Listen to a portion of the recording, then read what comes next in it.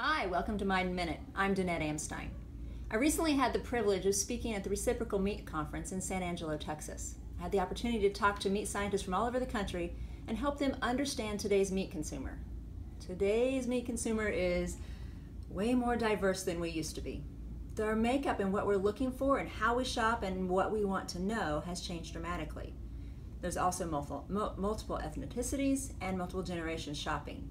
Our ethnic makeup in this country is going to change substantially in the next 40 years. So, as we look at key customer segments and how we might want to market meat to them, we have to take into account not only millennials and boomers, but also Hispanics and Asian Americans. If you're interested in some of the key statistics from my presentation, check out our blog at midanmarketing.com. Thanks, have a great day.